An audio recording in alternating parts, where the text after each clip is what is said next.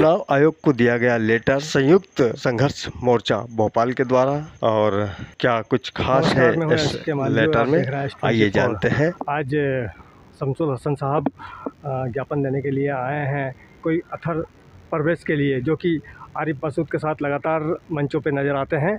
लेकिन उनकी सरकारी नौकरी भी है और हम जानते हैं शमसुल हसन जी से वो क्या कहते हैं इस को लेकर। सर। एक जी। अथर परवेश कौन है?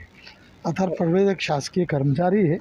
नगर निगम में जॉब है उनकी वो परमानेंट कर्मचारी है। 2030 में उनका रिटायरमेंट है और हमारे यहाँ के एक तथाकथित विधायक हैं हरी मसूद जी। उनके यहाँ नगर निगम की सर्विस ना करते हुए उनके यहाँ उनके पीए बने हुए हैं।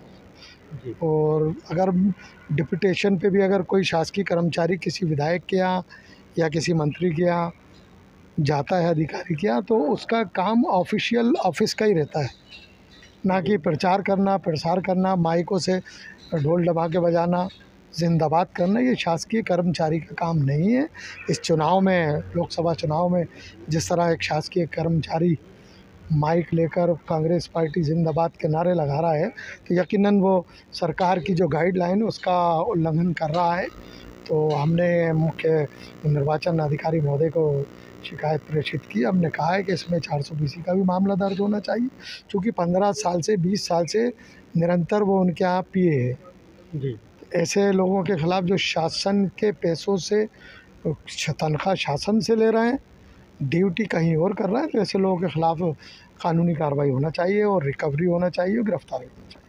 अधिकतर नगर निगम में तो ऐसा चल ही रहा है कि अधिकतर लोग सैलरी नगर निगम से लेते हैं लेकिन पार्षद से या विधायकों के यहाँ काम कर रहे हैं।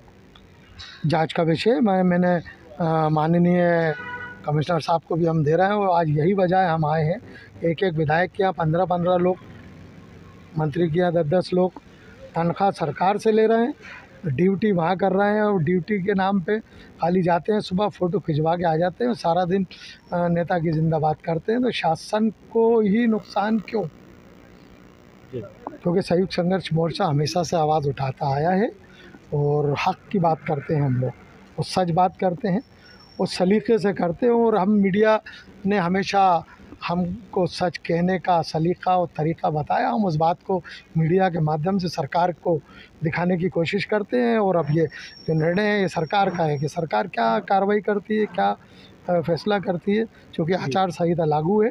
इस कारण हम यहाँ आए। अगर सरकार होती तो मध्य प्रदेश के मुख्यमंत्री को बताते कि तनख्वाह आप दे रहे हैं गुलामी गुलाम के मालवी और आप देख रहे हैं एस ट्वेंटी फोर। आज हमने बात की शमसुल हसन से।